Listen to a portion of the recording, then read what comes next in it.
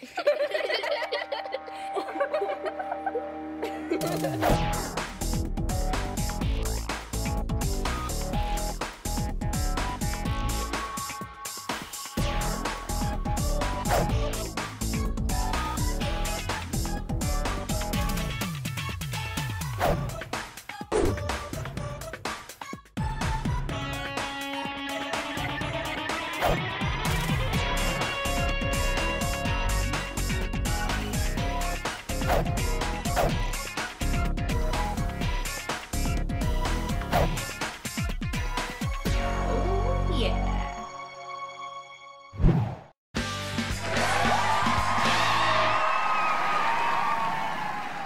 you chewing gum, Bridget?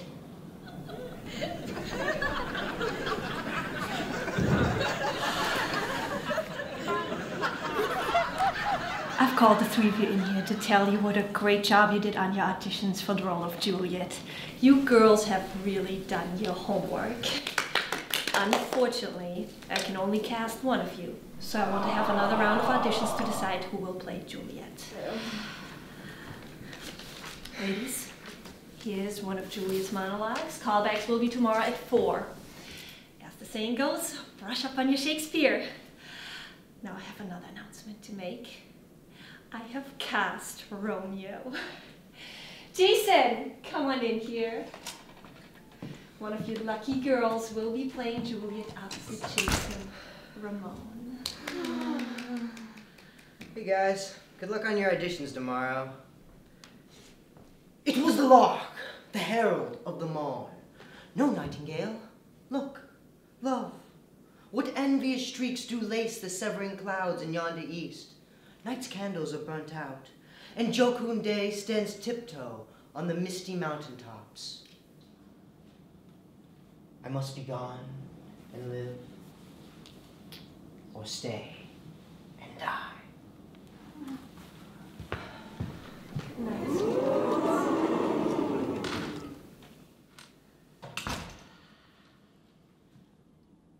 All right, ladies, you've got work to do.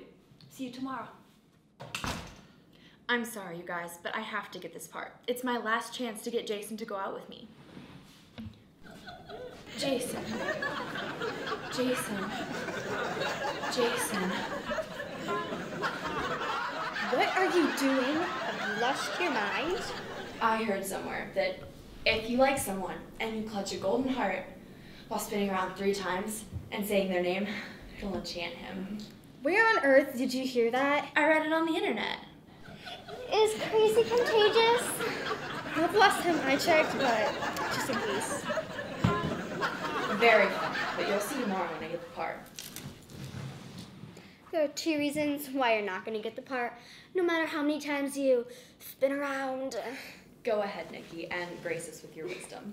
The first reason, it's simple. I'm going to be cast as Juliet. And number two, You're twice as tall as Jason. I mean, maybe it'd work if we were doing Jack and the Beanstalk. Fee, fi, fo, fum. he wanted you to step ladder just to kiss you. But me and Jason, we see eye to eye. Let's put an end to this charade, ladies. I will get the part simply because I am the best actress.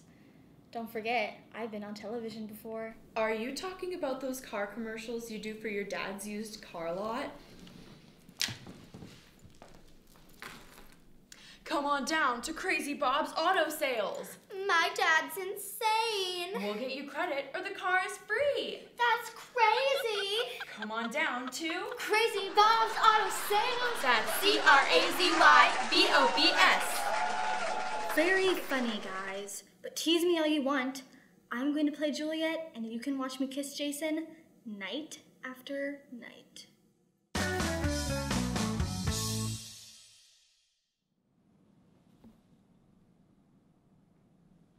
This by his voice should be a Montague. Fetch me my rapier, boy. What dares the slave come hither, covered with an antic face, to flee in scorn at our solemnity? Now, by the stock and honor of my kin, to strike him dead I hold it not a sin. Uncle, this is a Montague, our foe, a villain that is hither come in spite, to scorn at our solemnity this night? Tis he, that villain, Romeo. You're gonna make the perfect Tybalt.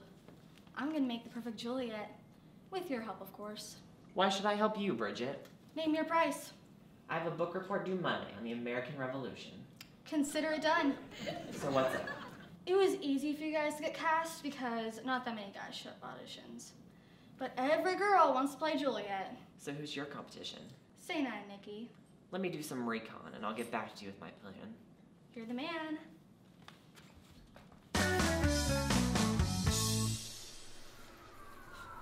Whose cold arm is that? Must be Nikki's. Oh, flattery.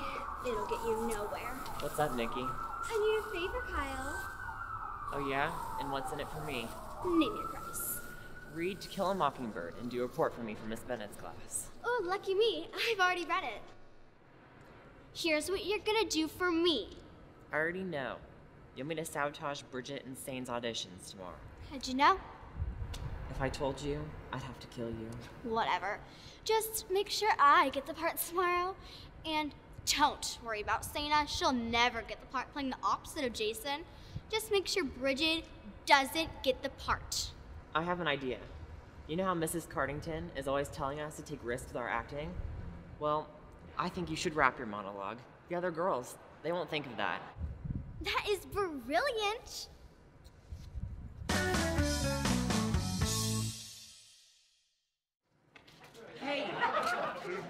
Idea? Sana? Quiet. I need your help. I already know. You want me to sabotage the other girls' auditions tomorrow. What? What gave you that idea? I would never want to sabotage someone's audition. Don't you believe in karma? Karma, who's that? Some new girl in school? No, you idiot. Karma is a law in Hinduism, which maintains that every act done will eventually return back to the doer with equal impact. And you believe that stuff? Of course I do. No, I want to win this fair and square, and you've got to help me. Me? Yes, you. I saw your audition for the role of Romeo, and you should be playing the part of Romeo. But Jason got it because he's a senior. I want you to help me with my Shakespeare. And what's in it for me? Why does there always have to be something in it for you? Can't you do it for the joy of helping someone? Do it because we've been friends since kindergarten. Do it for your love of the theater. I'll do it if you do my algebra homework tonight. Deal.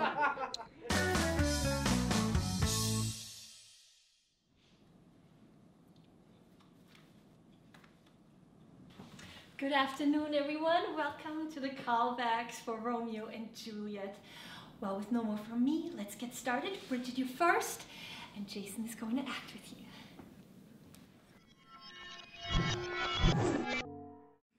What did you do to Bridget? I traded her gun for some trank gun. Watch. Wherefore art thou, Romeo? Deny thy father and refuse thy name. Or, if thou will not, be but sworn my love, and I'll no longer be a Capulet. Shall I speak at this, or shall I hear more? Tis but thy name that is thy enemy. Thou art thyself, though not a Montague. What's Montague? It is nor hand, nor foot, nor arm, nor face, nor any other part belonging to a man. Oh, be some other name. What's in a name?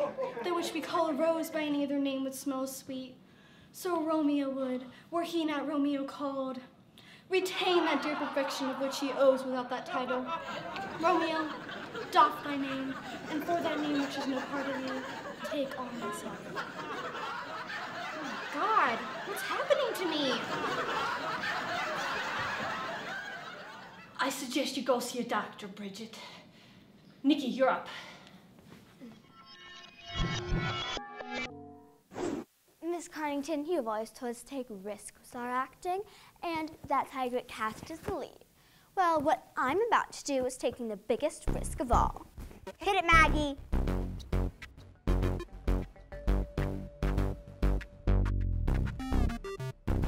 Romeo, Romeo, art thou Romeo? Deny thy father and refuse thy name. Or if thou will not keep the sworn my love, I will no longer be a Capulet.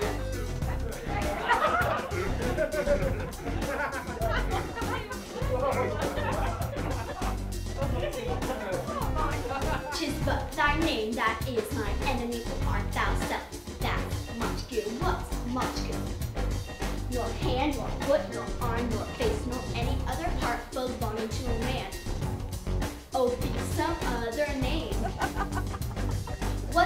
a name in which we call a rose would smell so sweet?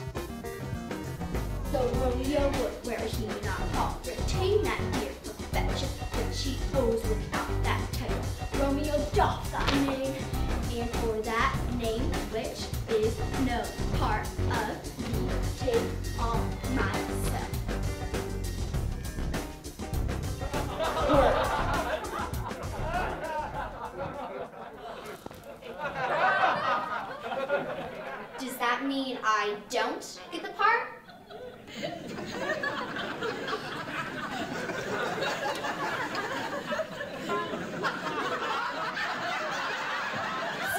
Say. Please, no more nonsense. Yes, Miss Covington. Oh, Romeo, Romeo, wherefore art thou Romeo? Deny thy father and refuse thy name. Or if thou wilt not, be but sworn, my love, and I'll no longer be a Capulet. Shall I speak at this, or shall I hear more? But thy name that is my enemy. Thou art thyself, though not a Montague. What's Montague? Tis nor hand, nor foot, nor arm, nor face, nor any other part belonging to a man. Oh, be some other name. What's in a name? That which we call a rose, by any other name would smell as sweet. So Romeo would, were he not Romeo called, retain that dear perfection which he owes without that title. Romeo, doff thy name, and for that name which is no part of thee, take on thyself. Looks like we found our Juliet. That was magnificent, dear.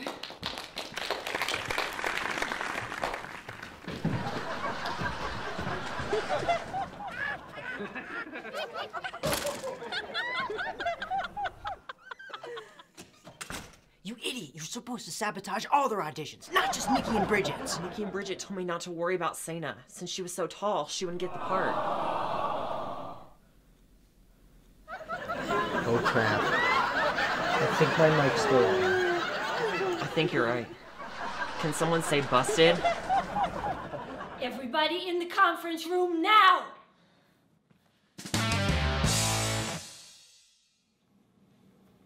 I am very disappointed. Now, the question is how I should punish you for your transgressions. And the answer came to me in a flash. Bridget, your father asked me whether I could send him several students to participate in his next commercial, and I said to myself, there's no way I would have any of my students humiliated in one of Crazy Bob's commercials. So I was about to decline the offer. But now, all of you, except for Sana, of course, all of you are going to be in Crazy Bob's next commercial. If we refuse, You'll be kicked out of the show and suspended for a week, which means for you, Jason, no graduation. What exactly are we doing in this commercial? I don't know. Something about chickens. Smells like karma to me.